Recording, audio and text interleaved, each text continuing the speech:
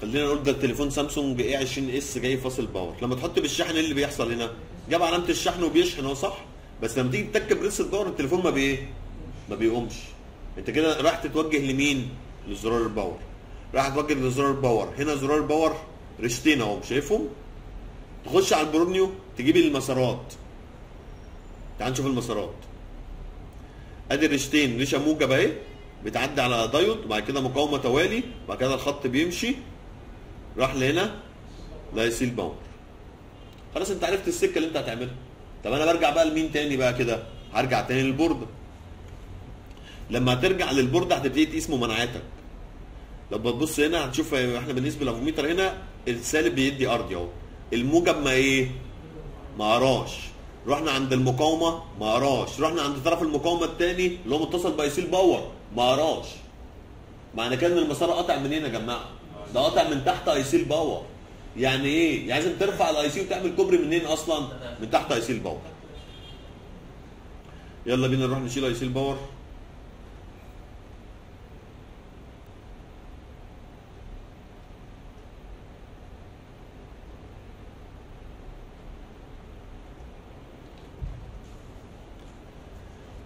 لم القصدير بتاعك الأول. ما تحطش ال shield كده على طول ها؟ لم القصدير بتاعك الأول.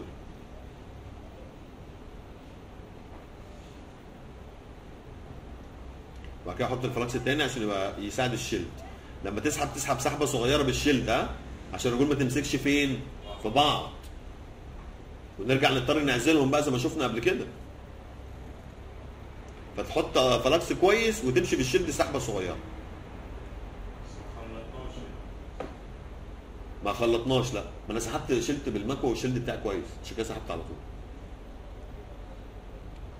خلينا نقول بقى أنت هتعمل كوبري تحت مين هنا؟ تحت ال IC ال Borneo قال لي على مكان الكوبري.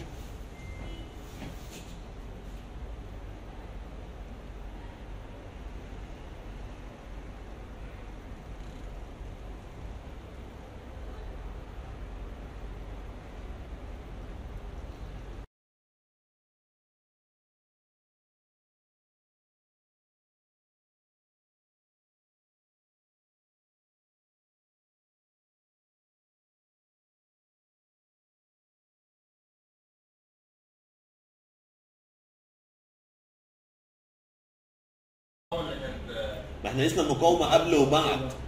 لما قست المقاومة كان ممانعة من ناحية ال IC مفيش ممانعة. مفيش ممانعة. مفيش ممانعة يبقى هي فاصله من تحت ال IC خلاص كده. هنا يا معلم بتعمل انت الكوبري. بعد ما حضرتك بتعمل الكوبري كده تحاول إن انت تثبت الايه؟ الكوبري. لما تحاول تثبت الكوبري بنثبته بال solder mask. فبنثبته من بره الأول عشان نعديه ما بين الرجول. شايفه؟ وتسنطره ما بينهم كده. بعد كده تحط نقط بسيطة من ال solder mask عشان تبقى عازل لما يجي يقعد ما يلمسش حاجتين بإيه؟ ببعض.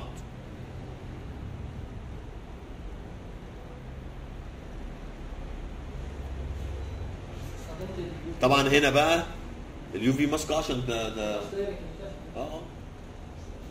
في ثواني آه أمال إيه؟ التانية تعبان هنا لما تروح بقى تشبلن ال IC لازم تشبلن ال IC كويس تغذي رجول اللحام. ما تكونش رجول اللحام قليلة.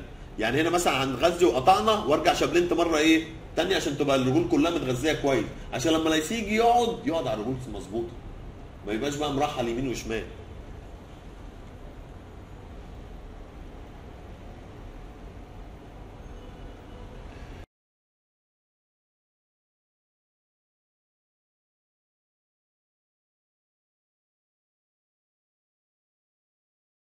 هنا بقى الايسي هنركبه بالرجينة عشان تبقى فيها نسبة من اللزوجة. عشان لما الايسي يقعد انت مش عايزه يتحرك كتير عشان الكوبري تحت منه. فعايزه يقعد في مكانه على طول. فالأحسن هنا في التركيب إنك تستخدم مين؟ الرجينة.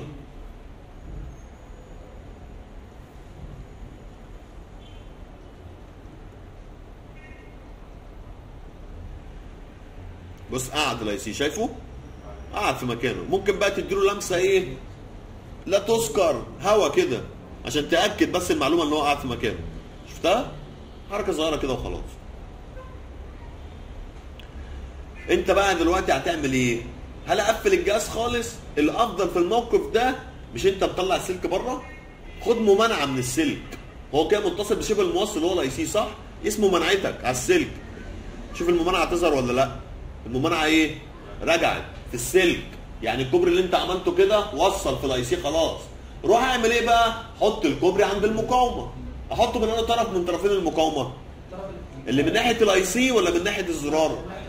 من ناحية ال IC عشان يفضل المسار زي ما هو بطبيعته. فتلاقي المقاومة من ناحية ال IC جايبة ممانعه تعال نشوفها. من ناحية الزرار كبيرة اهي شفتها؟ ليه من ناحية الزرار ممانعه كبرت؟ لأن انت حطيت الكوبري قبل المقاومة. فأنا خليت وظيفة المقاومة زي ما هي